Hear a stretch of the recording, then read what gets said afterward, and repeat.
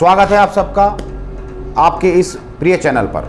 आज के इस एपिसोड में मैं आप सबको मेष से कन्या राशि के लोगों का सितंबर महीने के प्रथम सप्ताह का राशिफल बताने जा रहा हूँ। साथ ही ज़रूरत के अनुसार संबंधित प्रतिकूलताओं को दूर करने के उपाय भी बताऊँगा, जिनसे बड़ी सरलता से तन, मन व परिवेश में व्याप्त नकारात्मक ऊर्जा तरंगों के कुप्रभावों का निष्कासन हो जाता है। सितंबर का पहला सप्ताह विशेष रूप से मिथुन राशि वालों के लिए सुखद एवं लाभदायक रहेगा। कर्क राशि वालों लोगों के लिए वैवाहिक जीवन में विशेष प्रगाढ़ता आएगी तथा आपसी सहयोग में वृद्धि होगी।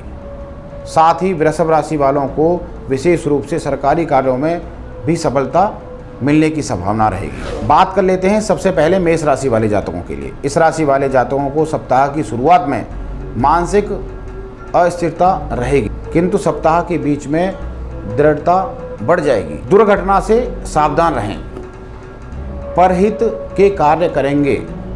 किसी दूसरे लोगों के कार्य में आप लगे रहेंगे। पढ़ाई की दृष्टि से समय मध्यम है। सप्ताह में शारीरिक और मानसिक थकान हावी रहेगी, तथा संतान को लेकर चिंतित रहेंगे। काम की भागदौड़ में परिवार के उत्तम दायित्व को निभाने में कमी आएगी। दीर्घकालीन निवेश से परिवार और खुद का भविष्य सुरक्षित हो जाएगा। पारिवारिक एवं प्रेम संबंधों में तालमेल बिठाने में सफलता मिलने से सुख की अनुभूति होगी। मानसिक शांति महसूस करेंगे आप। हनुमान चालीसा के पाठ से प्रतिकूल प्रभावों से छुटकारा और अनुकूलता में वृद्धि होगी। वृषभ राशि वाले, इस राशि वाले लोगों के लिए सप्ताह के प्रारंभ में परिवार के साथ व्यापार में भावुकता महसूस होगी और मन प्रसन्न रहेगा।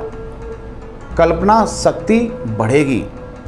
नौकरी, व्यवसाय लाभप्रद रहेंगे। अचानक आपको यात्रा करनी पड़ सकती है। बालाजी की कृपा से सप्ताह के मध्य में आत्मविश्वास बढ़ेगा। पढ़ने लिखने वाले छात्रों की रुचि बढ़ेगी। सरकारी संबंध या काम से लाभ मिलेगा। संतान संबंधी मामलों में खर्च बढ़ सकता है आपका। सप्ताह के अंत में मधुर वाणी से खुद का काम करवाने में आप सफल हो पाएँगे। प्रतिकूलताओं के शमन हेतु माता रानी की पूजा आपको अवश्य करनी चाहिए। अब बारी है मिथुन राशि वाले जातकों के लिए। इस राशि वाले लोगों के लिए सप्ताह की शुरुआत में विविध क्षेत्रों में विद्वानों और मित्रों के साथ मुलाकात लाभप्रद रहेगी। सुरक्षित भविष्य के लिए सरकारी योजनाओं में निवेश करें, लाभ रहेगा। फिर भी ज़्यादा लालच देने वाली योजनाओं से दूर रहना पड़ेगा। छात्रों में मस्तिष्क पर थोड़ा कुछ प्रेशर बढ़ सकता है। नौकरी या व्यवसाय में सहकर्मियों का सहयोग आपको मिल सकता है। छोटी यात्रा की योजना आपकी बन सकती है। श्री गणेश जी की पूजा करने से सारी प्रतिकूलताओं का शमन हो सकता है। इसलिए गणेश वंदना आपको अवश्य करनी चाहिए। बारी है कर्क राशि वाले जातकों के लिए। इस राशि वाले व्यक्ति बीते सप्ताह व्याकुलता में समय बिताने के बाद अब राहत महसूस करेंगे और परिजनों के साथ प्रसन्न रहेंगे। छोटी यात्रा संभव हो सकती है। जीवन साथी के प्रति आकर्षण रहेगा। शेयर बाज़ार, आयात निर्यात करने वालों के लिए बहुत अच्छा समय है ये। इस सप्ताह में आर्थिक क्षेत्र में परिजनों का सहयोग आपको मिलेगा। बातचीत की चतुराई से ये किसी भी व्यक्ति से अपना काम निकलवाना जानते हैं। सप्ताह के अंत में कार्य सफल हो जाएगा।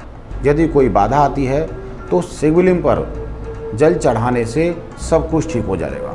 बारी है सिंह राशि वाले जातकों के लिए। इस राशि वाले जातकों को आत्मविश्वास सप्ताह के प्रारंभ में बढ़ेगा। इनको अपनी संतान और बुज़ुर्गों की ओर से सुख मिल सकता है।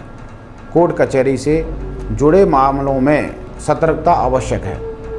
इस सप्ताह में निर्णय लेने की क्षमता बढ़ेगी। सरकार की ओर से इनको लाभ मिलने की संभावना है। क्रोध पर काबू रखना आपके लिए अति आवश्यक। इस समय ये लोग सामाजिक कार्यों में हिस्सा ले सकते हैं। वाणी की चतुराई से किसी को प्रभावित करने में ये लोग सफल हो पाएँगे। शिक्षा ग्रहण करने वाले व्यक्तियों को अधिक प्रयास करना होगा। उपाय के तौर पर आपको नित्य प्रतिदिन भगवान सूर्य को जल देना होगा। बात कर लेते हैं कन्या राशि वाले जातकों के लिए। इस राशि वाले लोगों के लिए इस सप्ताह की शुरुआत बहुत लाभ देने वाला है। घर परिवार में सुख समृद्धि आएगी और परिवार में लाभ होगा और व्यापार में लाभ होगा। बात कर लेते हैं कन्या राशि वाले जातकों के लिए। इस राशि वाले लोगों के लिए इस सप्ताह की शुरुआत बहुत लाभ देने वाली है। घर परिवार में सुख समृद्धि आएगी और व्यापार में लाभ होगा। इस सप्ताह मित्रों के साथ आप कहीं भ्रमण पर जा सकते हैं, आप घूम सकते हैं।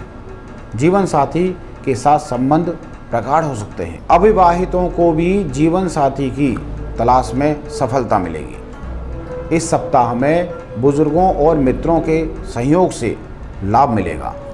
समाज में यश कीर्ति बढ़ने की संभावना है। जीवन साथी और संतान की ओर से भी कोई खुशखबरी आपको मिल सकती है। लेकिन सप्ताह के अंत में वाणी पर आपको संयम रखना होगा। साथ ही किसी प्रकार के कागजात पर हस्ताक्षर, सोच विचार के करने चाहिए। उपाय के तौर पर आपको क्या करना चाहिए? भगवान गणेश जी को लड्डू और दूरबा घास चढ़ानी चाहिए, जिससे आपका यह सप्ताह अच्छा बीते। आशा है इस एपिसोड में बताए गए राशि फलों और उपायों की जानकारी पाकर आप खुद लाभान्वित होंगे और उनके उपायों से दूसरों को भी फ़ायदा पहुंचाएँगे। इन्हीं शब्दों के साथ मैं अपनी वाणी को विराम देता हूँ। जय श्री राम, जय श्री बालाजी।